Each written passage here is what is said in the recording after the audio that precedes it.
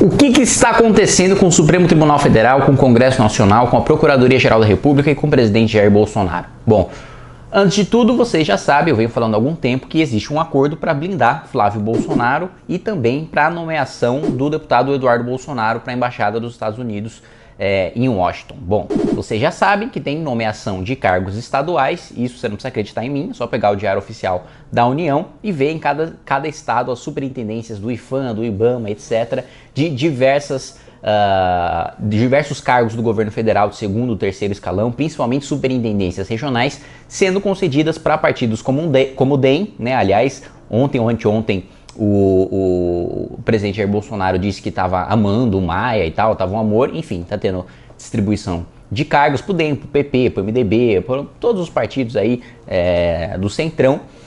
E também teve a nomeação de Augusto Aras, que era o nome do Centrão para a Procuradoria-Geral da República. Bom, só falou, não, mas não é possível que o Bolsonaro ia aceitar uma indicação do Centrão, ele está lá com o Sérgio Moro de ministro, não sei o que, não sei o que lá. Vamos lá. Primeiro ponto que mostra e escancara o acordo que Jair Bolsonaro fez para blindar o seu filho, filho, Flávio Bolsonaro. Ele vetou o projeto de lei 2121 de 19 que limitava os poderes dos ministros do Supremo Tribunal Federal. Basicamente, obrigava esses ministros, quando eles concediam uma liminar monocrática, ou seja, só um ministro concedia uma liminar suspendendo o efeito de alguma legislação, esse ministro era obrigado em 180 dias, prorrogáveis por mais 180, a submeter ao plenário, a submeter aos seus colegas. Nada demais, como acontece em, na maior parte das democracias saudáveis. Né? Não, dá pra você ficar sentado em cima de uma liminar é, durante 180 dias e não colocar para julgamento.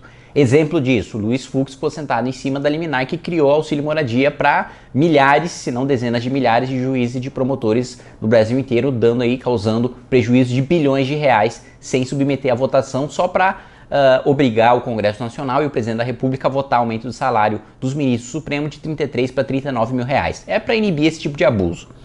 Bolsonaro vetou isso fazendo parte do acordo. Só que o acordo ficou ainda mais escancarado quando a gente chegou para votar o veto de Jair Bolsonaro aqui na Câmara dos Deputados. Eu votei para derrubar o veto, claro, mantendo a coerência de sempre é, defender a tripartição do poder, a separação dos poderes, para que cada um esteja no seu quadrado, como deve ser numa república. Mas o que, que aconteceu no plenário? Uma coisa bastante curiosa. O PT e todos os partidos do Centrão votaram para manter o veto do presidente. O PT e todos os partidos do Centrão votaram junto com o Jair Bolsonaro e a liderança do governo, né, os líderes do governo aqui, Joyce Hasselman e Major Vitor Hugo, é, orientaram para manter o veto, ou seja, para proteger o Supremo Tribunal Federal. Mas o PSL, o partido do presidente da República, fez o contrário. Quis derrubar o veto do presidente Jair Bolsonaro. Ou seja, a maior parte dos deputados do PSL quis manter a coerência e limitar os poderes do Supremo. Mas ficou tão escancarado esse acordo e até com a divergência dos deputados do PSL, que a gente chegou no cúmulo do governo orientar uma coisa e do PSL orientar outra. PSL, partido do governo e único partido da base formalmente. Né? Então, isso já fica escancarado. E aí, a gente tem a notícia hoje de que uh, o procurador Augusto Aras quer utilizar uh, os dados ali da Vaza Jato, quer periciar uh, os dados da Vaza Jato para incluir isso no processo do Lula.